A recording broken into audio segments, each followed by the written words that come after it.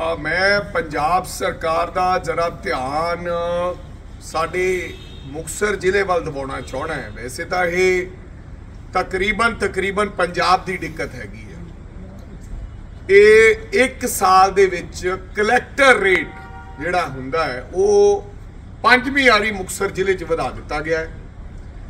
Officer ਸਾਹਿਬਾਂ ਨਾਲ ਗੱਲ ਕਰ ਰਹੇ ਹਾਂ ਤਾਂ ਉਹ ਕਹਿੰਦੇ ਉੱਤੋਂ ਹਦਾਇਤਾਂ ਆਈਆਂ ਜਾਣੀ ਕਿ ਪੈਸਾ ਇਕੱਠਾ ਕਰਨ ਦਾ ਇੰਤਜ਼ਾਮ ਬਾਤ ਹੋ ਰਿਹਾ ਹੈ।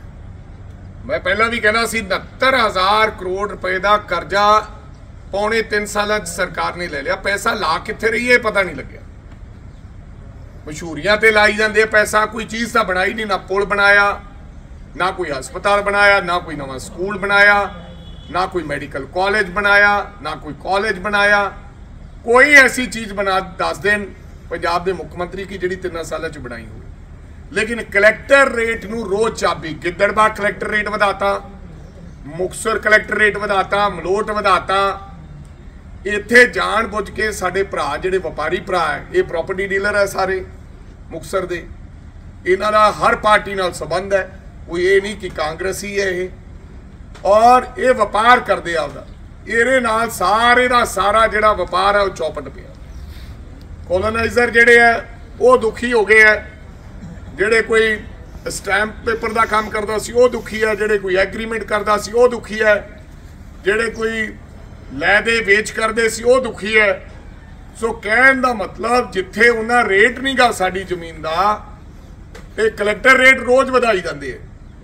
ਕਿਉਂਕਿ ਇਹਨਾਂ ਕੋਲ ਪੈਸੇ ਹੈ ਨਹੀਂ ਉਹ ਭਾਈ ਪੈਸੇ ਹੈ ਨਹੀਂ ਕੋਈ ਸਾਡੇ ਲੋਕਾਂ ਦਾ, ਆਮ ਲੋਕਾਂ ਦਾ ਗਲਾ ਥੋੜੀ ਘੁੱਟਣਾ ਹੈ।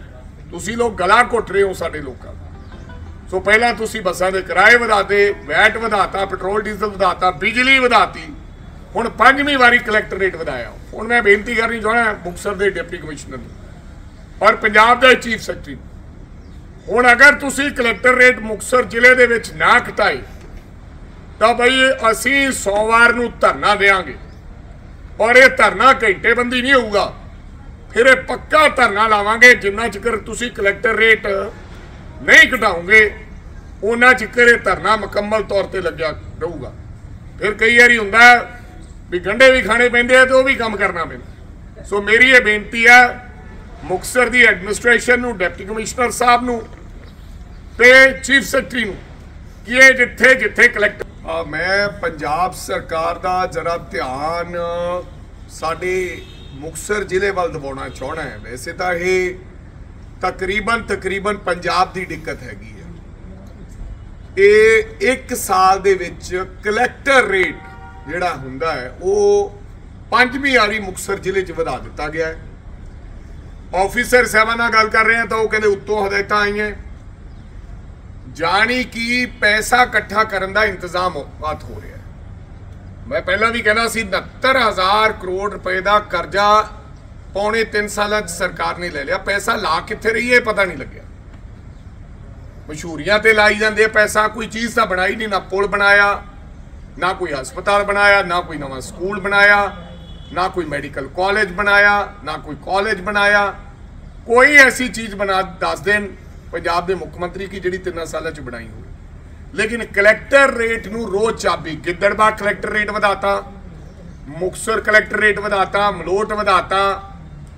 ਇੱਥੇ ਜਾਣ ਬੁੱਝ ਕੇ ਸਾਡੇ ਭਰਾ ਜਿਹੜੇ ਵਪਾਰੀ ਭਰਾ ਹੈ, ਇਹ ਪ੍ਰਾਪਰਟੀ ਡੀਲਰ ਹੈ ਸਾਰੇ ਮੁਕਸਰ ਦੇ।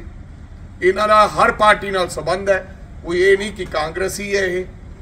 ਔਰ ਇਹ ਵਪਾਰ ਕਰਦੇ ਆ ਉਹਦਾ ਇਹਦੇ ਨਾਲ ਸਾਰੇ ਦਾ ਸਾਰਾ ਜਿਹੜਾ ਵਪਾਰ ਹੈ ਉਹ ਚੌਪਟ ਪਿਆ।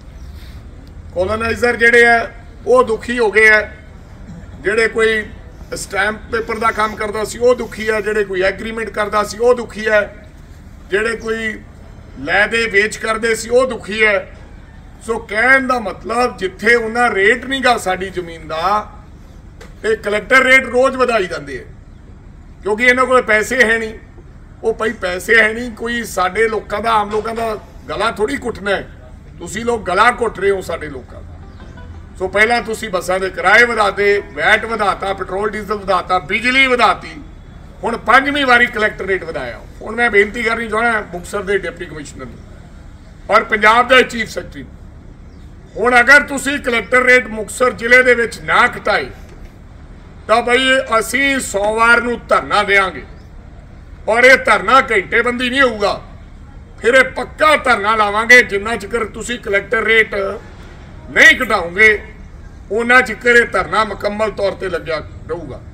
ਫਿਰ ਕਈ ਵਾਰੀ ਹੁੰਦਾ ਵੀ ਗੰਡੇ ਵੀ ਖਾਣੇ ਪੈਂਦੇ ਆ ਤੇ ਉਹ ਵੀ ਕੰਮ ਕਰਨਾ ਪੈਂਦਾ। ਸੋ ਮੇਰੀ ਇਹ ਬੇਨਤੀ ਹੈ ਮੁਕਤਸਰ ਦੀ ਐਡਮਿਨਿਸਟ੍ਰੇਸ਼ਨ ਨੂੰ ਡਿਪਟੀ ਕਮਿਸ਼ਨਰ ਸਾਹਿਬ ਨੂੰ ਤੇ ਚੀਫ ਸੈਕਟਰੀ ਨੂੰ ਕਿ ਇਹ ਜਿੱਥੇ ਜਿੱਥੇ ਕਲੈਕਟਰ